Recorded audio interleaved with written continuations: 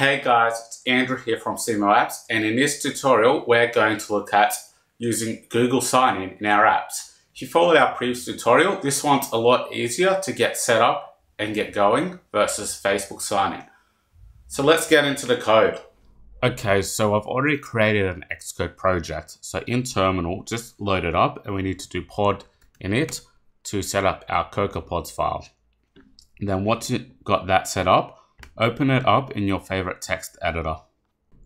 Okay, so we've got our pod file open. So under pods for gsign, we're going to add the pod, Google sign in. Save your pod file, then back in your terminal, run pod install to install that. Now with that set up, we need to reload our project. We're going to open up the .xc workspace file so that we have our Google Sign-In CocoaPod library installed. Now with that set up, first of all, we're going to head to our app delegate.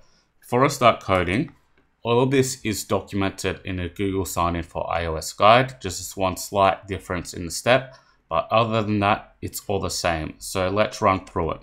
So first of all, in the Google Sign-In for iOS guide, we've already got CocoaPod set up. So we're going to create an OAuth client ID. So hit that button Either create a new project or select one of your existing ones. I've already got a test Google sign in, so we'll go next. Select iOS, and then it's going to ask for your bundle ID. So let's go back to our Xcode project. And then under the app project, we see our bundle identifier is seemu.gsignin here. So we're going to paste that. So you want to put yours here, hit create, and it's going to configure a project. So go to download client configuration and then open that file up in your favorite text editor and we're going to use it later.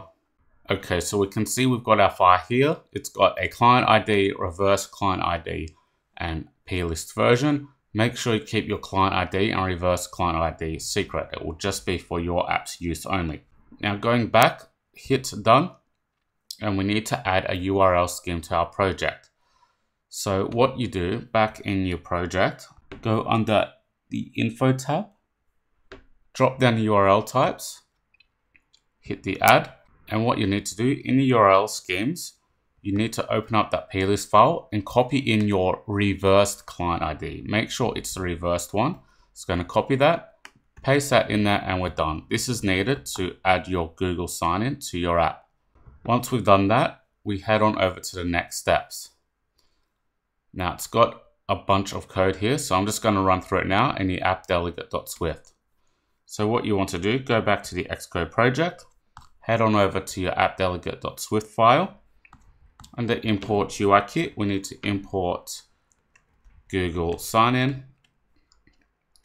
And we need to add a protocol called GID sign-in delegate.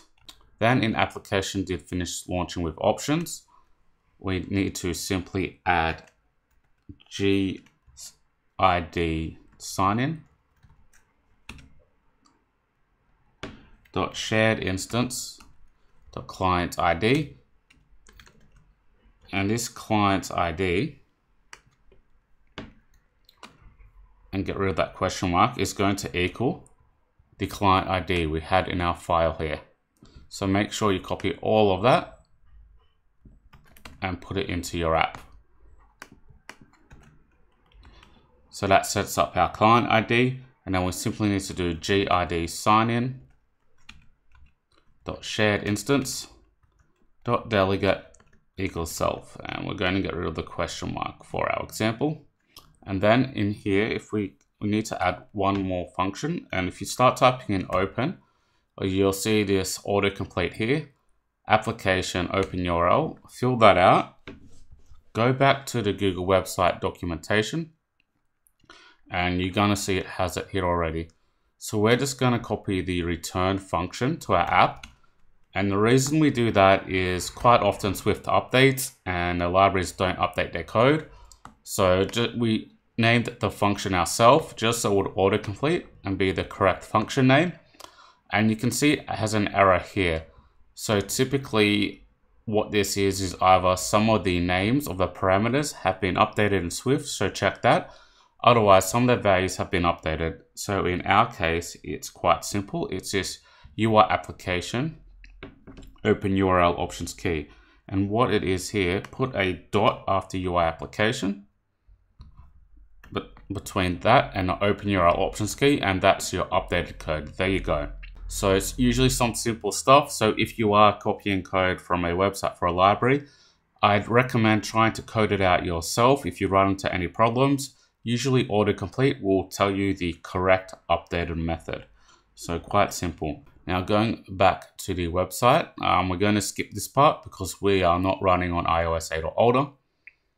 Then we need to copy this sign in function here. So once again, I'm just going to copy the actual code in that function and we'll let autocomplete fill out that function.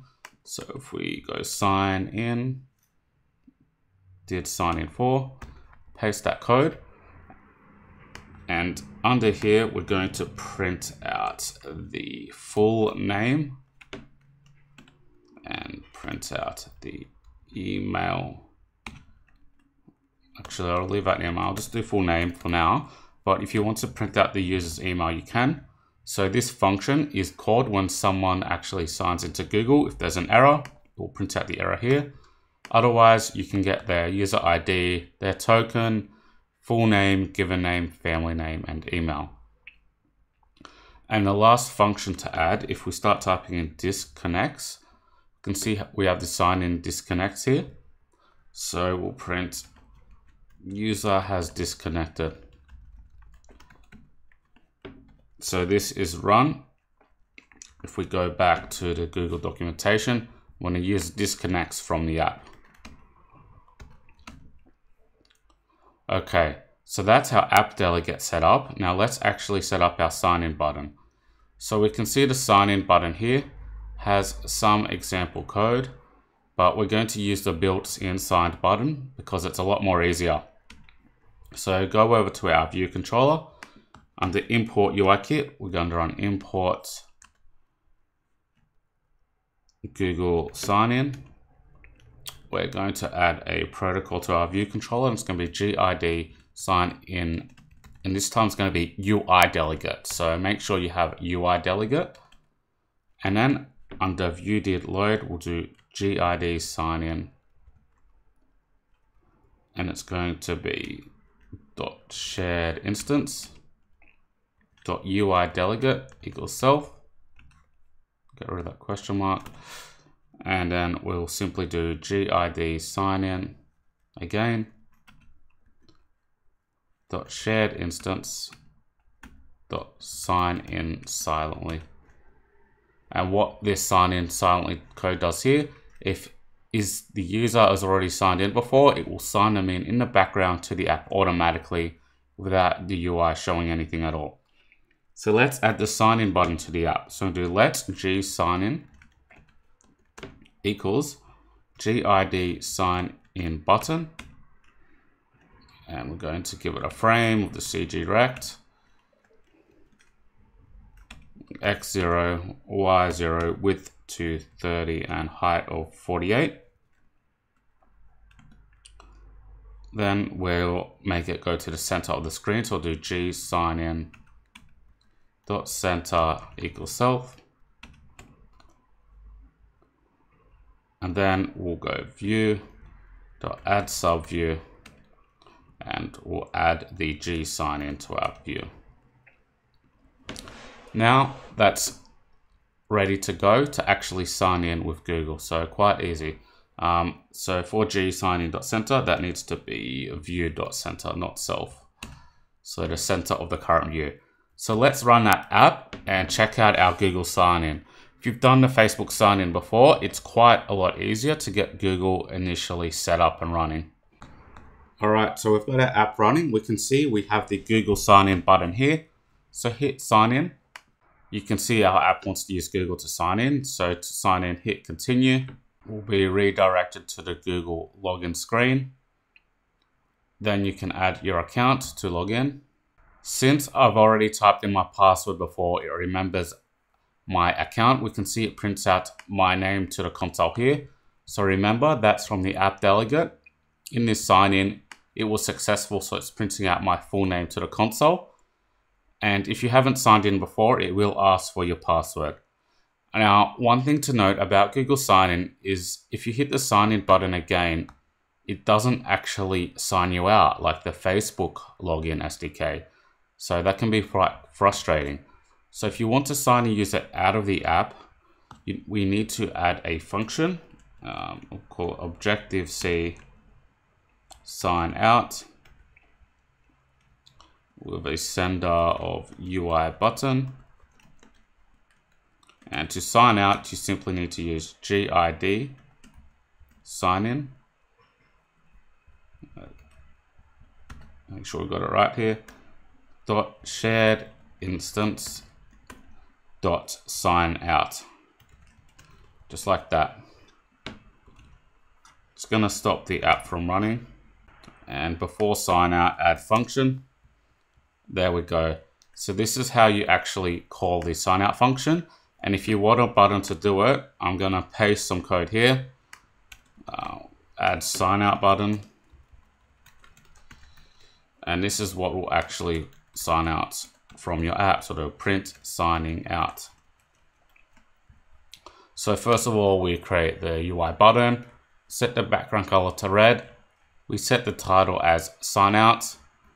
We set it to the center of the screen. Then we're going to add it just below the Google sign in button, just for this example. We add the target of the view controller itself. The action is what happens when we actually use this button. So it calls a selector self.signout, which is that sign out function here. And it happens when we touch up on the button. So when we release our tap off the button, then we add that to the screen. So if we run the app now, we'll actually see a sign out button on the screen, and that's going to call the Google ID sign in, the shared instance, and the sign out function. Perfect. We can see we've got our sign out button here now. So if we tap it, we can see it prints out signing out to the console. And then this will actually sign us out of Google. So you have to keep a track of if the user is signed in or not.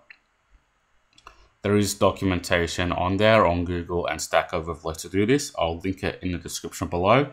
So it's not as simple as Facebook's SDK in that part where the button tracks if you're logged in or you need to log out. But still, it's quite simple to set up. You can download the source code below. If this video helped you, be sure to subscribe, hit like, and comment. See you guys next time.